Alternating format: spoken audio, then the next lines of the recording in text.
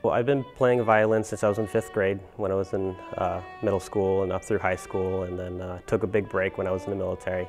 And then when I came back, I needed an extra outlet to, of things to do. So I started playing with St. Lawrence University and the Clarkson uh, Orchestra as well. Electrical engineering is fun to me, but being able to branch out into different things is definitely another interest too. Being here at Clarkson, I'm exposed to a lot of different students from different backgrounds at all times. I mean, never surrounded by electrical engineers only all the time. The business I would like to continue with is uh, a dedicated electric violin um, that will light up based on the input, based on the, the performer playing the instrument.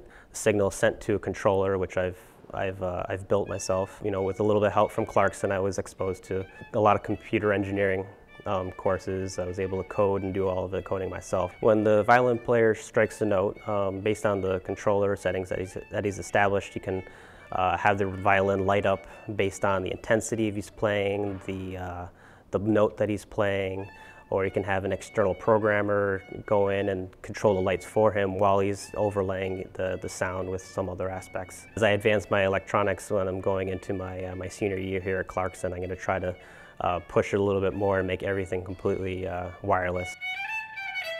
The Shipley Center, everyone there is friendly. You can come in, pitch your idea, talk to someone, everything is completely confidential.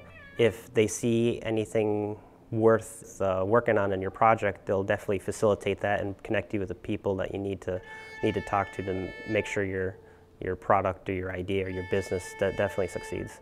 Um, I don't have any experience in business aspects or uh, patenting or any kind of the extra paperwork that comes along with making a with a product. So um, Shipley Center is definitely giving me a lot of help um, in the business aspects, helping me put a plan together, helping me uh, file for patents. I don't know, there's just so much extra assistance that I never would have thought about if I'd never talked to Shipley Center.